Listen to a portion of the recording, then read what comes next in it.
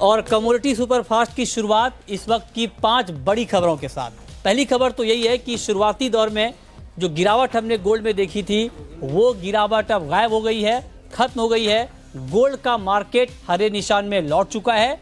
इकतीस हज़ार छः सौ रुपये के ऊपर एमसीएक्स पर इस वक्त गोल्ड में ट्रेड हो रहा है और चांदी का भाव सैंतीस हज़ार पाँच सौ रुपये के करीब है। अंतर्राष्ट्रीय बाज़ार में भी दाम करीब करीब पाँच डॉलर तक बढ़ चुके हैं और बारह डॉलर प्रति औंस के करीब है अंतर्राष्ट्रीय बाज़ार में गोल्ड का भाव।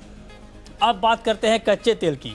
क्रूड में तेज़ी बढ़ी है और ब्रेंड का भाव अड़सठ डॉलर के ऊपर टिका है। डब्ल्यू क्रूड का भाव 60 डॉलर के बेहद करीब है और एम सी पर कच्चा तेल 4150 के ऊपर चला गया था। अब थोड़ा सा नीचे है, लेकिन अभी भी मार्केट करीब करीब एक परसेंट की तेज़ी के साथ ट्रेड कर रहा है। मेटल मार्केट को देखते हैं। मेटल में आज हफ़्ते के आखिरी कारोबारी दिन अच्छी चमक लौटी है। ठीक ठाक तेज़ी है और 450 की तरफ़ तेज़ी से कॉपर का मार्केट आगे बढ़ रहा है। बाकी जो मेटल के काउंटर हैं, वहाँ पर भी तेज़ी है। और ये तेज़ी इसलिए है क्योंकि बाज़ार को इस बात की उम्मीद है कि इस वीकेंड तक अमेरिका और चीन के बीच ट्रेड डील पर सहमति बन जाएगी। और उसी उम्मीद को देखते हुए मेटल का मार्केट आगे बढ़ रहा है। तेज़ी के साथ ट्रेड कर रहा है और मार्केट में रौनक लौटी है। चौथी खबर है आईसीईएक्स यानी इंडियन कमोडिटी एक्सचेंज पर बासमती आ, की ट्रेडिंग शुरू करने की मंजूरी सेबी की तरफ़ से मिल गई है।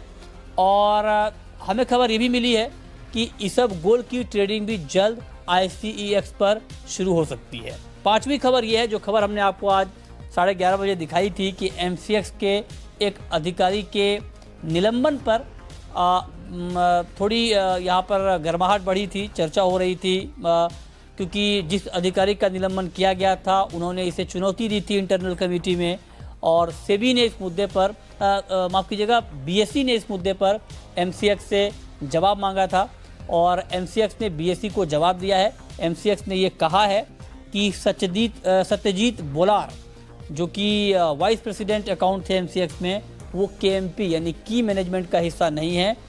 और ये भी कहा था कि इन्हें डेपुटेशन पर एम सी में नहीं भेजा गया था और इसीलिए बीएससी को इसकी जानकारी नहीं दी गई। और जिस अधिकारी का निलंबन किया गया है, उन्होंने इंटरनल कमेटी में इसे चुनौती दी है कि आखिर उनका निलंबन क्यों किया गया। ठीक है तो ये पाँच खबरें। और अब बात करेंगे आज की कुछ महत्वपूर्ण कॉल्स की, जहाँ पर आप ट्रेड कर सकते हैं। बताने के लिए राजीव जी हमारे साथ जुड़ गए हैं। राजीव जी। आज गोल्ड कुछ रिकवर तो हुआ है। आ, और आज हमने साढ़े ग्यारह बजे बात भी की थी लॉन्ग टर्म के लिए सारे एक्सपर्ट कह रहे थे कि तेज़ी रहेगी लेकिन शॉर्ट टर्म में कुछ गिरावट रहेगी और उस गिरावट के बाद ही खरीदना है। आपका अपना व्यू क्या है?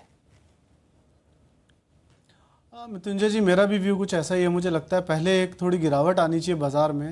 आ, मैं अभी आपके स्टूडियो में ही था तो बंसल साहब भी कह रहे थे पचास डॉलर के आसपास इसमें फॉल आ सकता है हम्म। मुझे भी ऐसा ही लगता है डॉलर टर्म्स में आने वाले पंद्रह बीस दिनों में हम्म। पचास डॉलर तक और ये बाज़ार गिर सकता है मतलब यहाँ से हज़ार रुपये आप ले लीजिए या बारह सौ रुपये ले लीजिए तो हज़ार बारह सौ रुपये का फॉल आता है तो वहाँ एक बहुत अट्रैक्टिव बाय बन जाएगा गोल्ड और उसके हम्म। बाद एक अच्छी खासी हम रैली इसमें देख सकते हैं नहीं आज के लिए क्या करें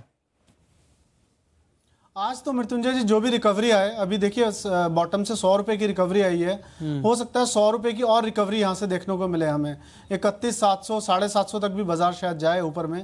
परंतु वो लेवल बिकवाली के लिए अच्छे रहेंगे। हम्म, इकतीस हम्म। नौ सौ से ऊपर का स्टॉपलस रखना चाहिए। पहला लक्ष्य मैं आज का लो ही लेता हूँ इकतीस पाँच सौ और फिर इकतीस तीन सौ। ठीक है। और सिल्वर पर क्या व्यू है आपका? चांदी में किस तरह का ट्रेड आप देख रहे हैं? सिल्वर में सैंतीस हज़ार छह सौ छह सौ पचास के आसपास बिकवाली की सलाह रहेगी। हम्म। सैंतीस हज़ार नौ सौ का स्टॉप लॉस रखना चाहिए। पहला लक्ष्य सैंतीस दो सौ लगता है दूसरा छत्तीस नौ सौ।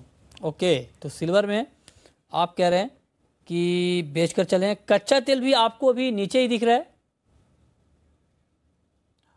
देखिए मृत्युंजय जी कच्चा तेल पिछले पाँच सात दिन से मैं देख रहा हूँ बाज़ार इकतालीस सौ पचास इकतालीस सौ सत्तर से एक फॉल दिखाता है साठ सत्तर अस्सी पॉइंट का। और फिर एक रिकवरी दिखाता है इसी लेवल तक की।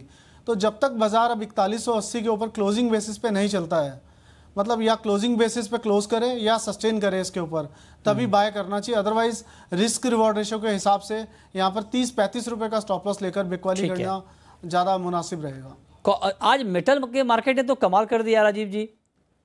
लगातार सुस्ती के दौर से गुजरने वाले मेटल आज अच्छी तेज़ी के साथ ट्रेड कर रहे हैं।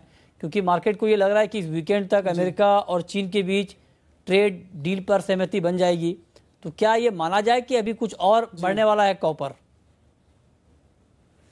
जी इसी ऑप्टिमिज्म के रहते हमने कि रैली आते हुए इमर्ज होते हुए देखा और और एलएमई में भी देखिए जो इन्वेंट्रीज है वो लगातार नीचे है। तो दो दो न्यूज़ हो गई जिसके कारण बाज़ार में रिकवरी आई और मुझे लगता है शॉर्ट कवरिंग भी होगी थोड़ा। और बाज़ार यहाँ से दो तीन रुपये और रिकवरी दिखा सकता है। मेरी राय में चार सौ इक्यावन, बावन मैक्सिमम लगता है अभी फ़िलहाल। और वहाँ से फिर से हम फॉल देख सकते हैं। तो फ़िलहाल ट्रेंड अपसाइड है तो दो तीन रुपये और ऊपर के प्ले करने चाहिए मेरी राय में। खेल बाइक करके चलना चाहिए। ठीक है। चने में क्या व्यू है आपका? चना तो काफ़ी बढ़ा है, क्या अभी और बढ़ने वाला है? मैं तो ये चना टेक्निकल ग्राउंड्स पे बात कर रहा हूँ। काफ़ी अच्छा चार्ट्स पे दिख रहा है। तैतालीस सौ बयालीस सौ अस्सी एक अच्छे लेवल है बाइंग के लिए। बयालीस सौ तीस का स्टॉप लॉस रखना चाहिए। पहला लक्ष्य हमें तैतालीस सौ अस्सी लगता है और फिर दूसरा लक्ष्य इसमें चवालीस सौ तीस का दिखता है। तो बाय करना चाहिए। टेक्निकल कॉल है पूरा। इसमें फंडामेंटल्स इंक्लूडेड नहीं है। ओके तो तैंतालीस सौ अस्सी के टारगेट के लिए आप बाय कर सकते हैं। चलिए आप शुरू करते हैं सवाल जवाब पहला सवाल है राजेंद्र सिंह का। पूछिए सिंह साहब। हेलो। जी पूछें। सर। जी जी पूछिए। शामगढ़ से बोल रहा सर दिलीप दानगढ़। हाँ हाँ पूछिए। सर मेरा सवाल ये था जिंक पे सर। अच्छा आप जिंक पर पूछना चाह रहे हैं? जी सर। पूछिए। सर ये मैं अगले महीने में जिंक बहुत ऊँचा खोल रखा है सर। इसको बाय करना चाहिए या सेल करना चाहिए सर? ओके नेक्स्ट मंथ का जिंक खरीदें या बेचें? बताइए राजीव जी। देखिए जो अगले महीने का जिंक है और इस महीने के जिंक में जो गैप है वो इंपोर्ट ड्यूटी का गैप है क्योंकि अगले महीने का जिंक डिलीवरी कॉन्ट्रैक्ट है। तो पहले तो आप डिफरेंस को समझ के चलिए ऐसा नहीं है कि, कि ये रोल ओवर गैप है। ये एक इंपोर्ट ड्यूटी का गैप है वो तकरीबन सात आठ परसेंट होता है। तो दो सौ अठारह साढ़े अठारह का आसपास अगला कॉन्ट्रैक्ट ट्रेड कर रहा है। आ, थोड़ा सा यहाँ पर मुझे लगता है कंसोलिडेट करेगा बाज़ार। अदरवाइज़ दो सौ सत्रह साढ़े सोलह के बीच में से बाइंग करके चलना चाहिए। मैं समझता हूँ 220 तक का लक्ष्य दिखा सकता है इजीली और 220 पर अगर ये क्लोज होता है कॉन्ट्रैक्ट तो वहाँ से पाँच रुपए की और रैली दिखती है। अच्छा ठीक है तो ये राय आपके लिए जिंक के ऊपर है। 204 के ऊपर फ़िलहाल ये कॉन्ट्रैक्ट ट्रेड कर रहा है। ओके आ, आगे बढ़ते हैं कुछ और कमोडिटी की बात करते हैं जहाँ पर आपके लिए ट्रेड का मौका बनेगा। इस बीच एल्युमिनियम में बड़ी तेज़ी दिख रही है। दो परसेंट से ज़्यादा की तेज़ी एम सी एक्स पर, नहीं नहीं, चौथाई फ़ीसदी माफ़ कीजिएगा, चौथाई फ़ीसदी की तेज़ी है और नेक्स्ट मंथ में अच्छी खासी तेज़ी यहाँ पर दिख रही है, अगले कॉन्ट्रैक्ट में, अप्रैल के कॉन्ट्रैक्ट में। तो राजीव जी, यहाँ पर कुछ नया ट्रेड बन रहा है एल्युमिनियम में? मृत्युंजय जी, आपने बिल्कुल ठीक बताया था कि इसमें तेज़ी है। इनफैक्ट सुबह ये अपर सर्किट भी लगा हुआ था, क्योंकि जो अल्मोनियम है, ये डिलीवरेबल कॉन्ट्रैक्ट है। तो काफ़ी सारे शॉर्ट सेलर्स ने अपने शॉर्ट पोजीशन काट किए होंगे तो उस कारण से अपर सर्किट लगा और जब उनका पोजीशन खत्म हुआ तो बाज़ार वापस अपने रेट पर आया। एल्युमिनियम भी मुझे थोड़ा सा यहाँ से तेज़ी लगता है क्योंकि अभी डिलीवरी की मांग भी निकल के आएगी एल्युमिनियम की उसके रहते हुए भी तेज़ी बन रही है। तो नेक्स्ट कॉन्ट्रैक्ट एक के आसपास चल रहा है। उसको मैं राय दूँगा एक सौ पचास पर बाइंग की 144 के स्टॉप लॉस से और 148 के टारगेट के लिए। ओके ठीक है तो ये राय आपके लिए है एल्युमिनियम के ऊपर। बहुत बहुत शुक्रिया राजीव जी आपका हमसे जुड़ने के लिए, बताने के लिए कि आज कमोडिटी में कहाँ पर कमाई के मौके बनेंगे।